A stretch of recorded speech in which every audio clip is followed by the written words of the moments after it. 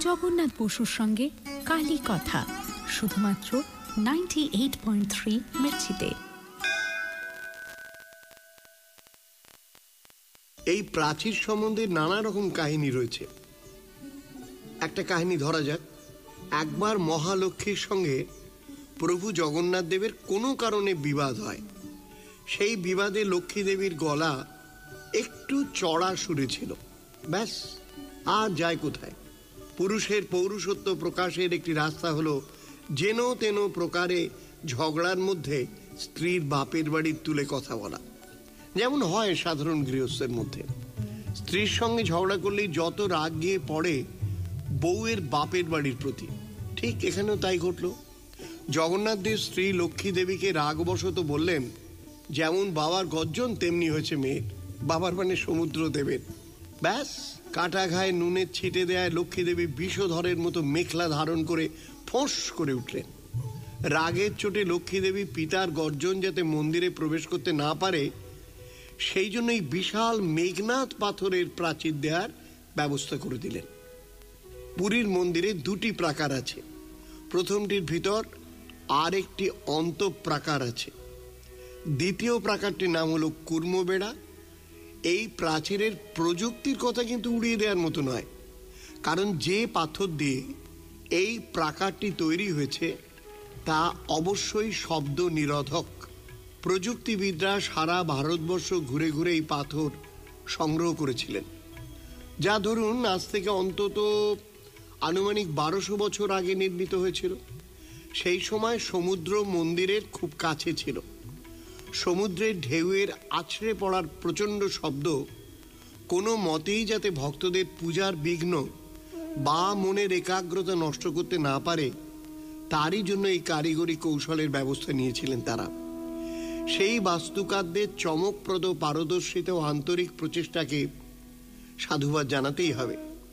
তাই দেব মন্দিরে দেবতার উদ্দেশ্যে প্রার্থনার আগে, না হয় সেই সব বাস্তুকারদের কথা একটু মনে করলাম। শুনছেন মির্চি কালী কথা শ্রী জগন্নাথ বসুর সঙ্গে কালী কথা শুধুমাত্র নাইনটি এইট পয়েন্ট থ্রি মির্চিতে।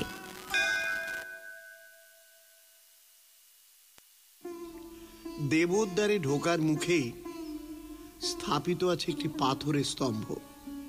নামটি হলো অরুণ স্তম্ভ।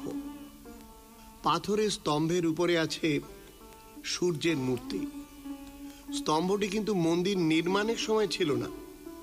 এটি পরবর্তীকালে সংযোজিত হয়েছে। অষ্টাদশ শতাব্দীর শেষে মারাঠিরা কোনারকের সূর্য মন্দিরের সামনে থেকে এই চল্লিশ ফুট উচ্চতার পাথরের স্তম্ভটিকে তুলে এনে এই জায়গায় স্থাপিত করেন। এত বড় স্তম্ভটি কিন্তু একটি মাত্র পাথর কেটে তৈরি। ভাবলে অবাক লাগে না? বর্তমানে প্রবাদ আছে, এই পাথরটিকে স্পর্শ করে দেব মন্দিরে প্রবেশ করলে নাকি জগন্নাথ দেব নিজেও খুব খুশি হন। বিশ্বাসে মিলায় বস্তু, তাই ভক্তরা এই স্তম্ভটিকে স্পর্শ করেই মন্দিরে প্রবেশ করেন। মূল মন্দিরে জগন্নাথ দেব মন্দির ছাড়াও আরও চল্লিশটি মন্দির আছে। মন্দির দ্বারের সামনে ঝর্ণার জলে পা ধুয়ে মন্দিরে প্রবেশ করতে হয়। তার আগে অবশ্য বাঁ পাশে চটি জুতো খোলা রাখার জায়গা কুপন পকেটে নিয়ে তারপর আর এক প্রস্ত হাত পা ধুয়ে এইবার পাকাপাকিভাবে মন্দিরে প্রবেশ করি আমরা। তবে কোনো তাড়াহুড়ো নয়, কারণ আমরা উনুনে ভাতের হাঁড়ি চাপিয়ে আসিনি যে তাড়াতাড়ি করে কোনো রকমের দায় সারাভাবে দর্শন করে আমাদের যে যা রাস্তায় ফিরে যাব। চারিদিকে ভক্ত, সাধু সন্ন্যাসী, ভিখারি, আতুর, এদের দেখার সঙ্গে সঙ্গে মন্দিরের স্থাপত্য রীতি বেশ উঁচু মানের শিল্পকলা, এইসব দেখতে দেখতে এগোতে থাকি। মাঝে মাঝে চিন্তার জালে জড়িয়েও ফেলি, পুরাণের বিভিন্ন কাহিনীর কথা মনে হয়। যাকে সেসব কথায় আসছি, শুনতে থাকুন মির্চি কালী কথা শ্রী জগন্নাথ বসুর সঙ্গে কালী কথা শুধুমাত্র নাইনটি এইট পয়েন্ট থ্রি মির্চিতে। বিভিন্ন পুরাণের মধ্যে বিভিন্নভাবে আমরা এই তীর্থের কাহিনীকে ব্যক্ত হতে দেখি। দাপর যুগে শ্রীকৃষ্ণ প্রভাস তীর্থের শবর, জরা ব্যাধের দ্বারা পায়ে তীরবিদ্ধ হয়েছিলেন। কিংবদন্তি আছে, এই জরা ব্যাধ হলেন ত্রেতা যুগে বানররাজ বালির পুত্র অঙ্গদ। সীতা উদ্ধারের সময় ইনি ছিলেন শ্রীরামচন্দ্রের অন্যতম সেনাপতি। রাবণকে বধ করে সীতা উদ্ধারের পর অঙ্গদকে বর কামনা করতে বললেন শ্রীরামচন্দ্র। অঙ্গদ বর কামনা করলেন, প্রভু, আমি যেন আমার পিতৃঘাতককে শাস্তি দিতে পারি।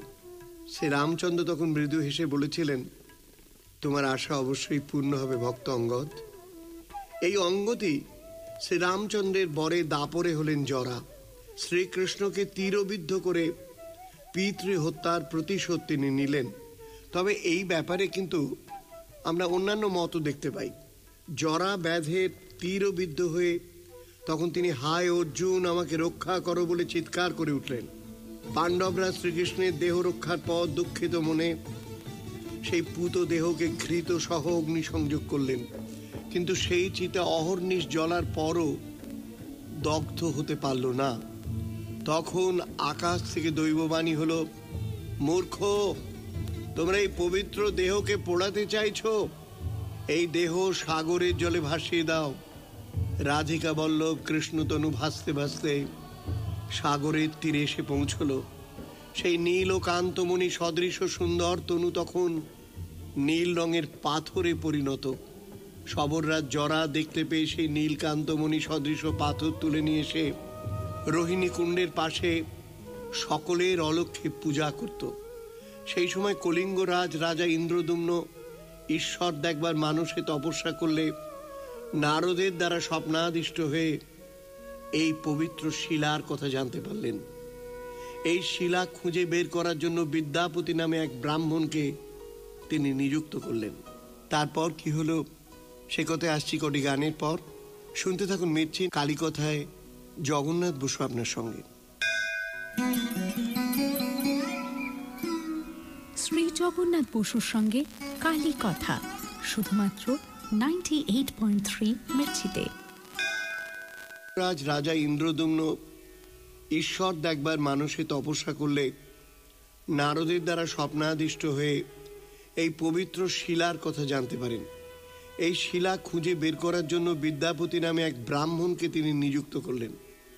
বিদ্যাপতি রাজা ইন্দ্রদুম্নের কাছে গিয়ে রোহিণী কুণ্ডের নীলকান্ত শিলার কথা জানালে রাজা সদল বলে পবিত্র শিলাকে দেখতে গেলেন। কিন্তু পথিমধ্যে সেই নীলকান্ত শিলা অন্তর্হিত হয়েছেন শুনে রাজা ক্রন্দন করতে লাগলেন। আবার দৈববাণী হলো সেই সময়, রাজা, তুমি অতি প্রত্যুষে সমুদ্রে স্নান করে অপেক্ষা করবে দেব বিগ্রহ নির্মাণের উপকরণ আসবে। সেই মতো রাজা সমুদ্রে স্নান করে অপেক্ষা করতে লাগলেন। তখন শঙ্খ, চক্র, গদা পদ্মে শোভিত কাষ্ঠখণ্ড তীরে এসে ভিড়ল। রাজা ঠিক করলেন, এই শুভ লক্ষণযুক্ত কাষ্ঠখণ্ড দিয়েই দেবমূর্তি নির্মাণ করবেন। কিন্তু কোনো ছুতোর মিস্ত্রি এই কাঠের খণ্ডে বিন্দুমাত্র দাগ পর্যন্ত বসাতে পারলে না। তখন স্বয়ং বিশ্বকর্মা বৃদ্ধ ভাস্করের বেশ ধারণ করে অনন্ত মহারানা নাম নিয়ে এই বিগ্রহের রূপ দিতে এগিয়ে এলেন। রাজার সঙ্গে শর্ত হলো, দ্বাররুদ্ধ অবস্থায় একুশ দিনের মধ্যে তিনি বিগ্রহ তৈরি করে দেবেন। সেই সময়ের মধ্যে কেউ যেন দ্বার উন্মুক্ত করবার একেবারে চেষ্টা না করেন। যখন পনেরো দিন অতিক্রান্ত, সেই সময় রানী গুন্ডিজার কথায় ব্যগ্র হয়ে রাজা শর্ত ভাঙলেন। রুদ্ধদ্বার উন্মুক্ত করে দেখলেন দেব বিগ্রহ অসমাপ্ত এবং বিশ্বকর্মারূপী সেই বৃদ্ধ ভাস্কর অন্তর্হিত অদৃশ্য। সেই থেকেই জগন্নাথ দেব বলরাম ও সুভদ্রা হলেন অসমাপ্ত দেব বিগ্রহ শ্রীক্ষেত্র নিয়ে আরও অনেক অনেক কথা রয়েছে। চলতে থাকবে এখন বেশ কিছুদিন। প্রভু জগন্নাথের আশীর্বাদী হাত আপনার মাথায় পড়ুক। খুব ভালো থাকুন। আনন্দে থাকুন। আপনার এবং আপনার প্রতিবেশীর মঙ্গল হোক। শুনছেন মির্চিন কালীকথায় জগন্নাথ বসু আপনার সঙ্গে। শ্রী জগন্নাথ বসুর সঙ্গে কালী কথা শুধুমাত্র নাইনটি এইট পয়েন্ট থ্রি মির্চিতে।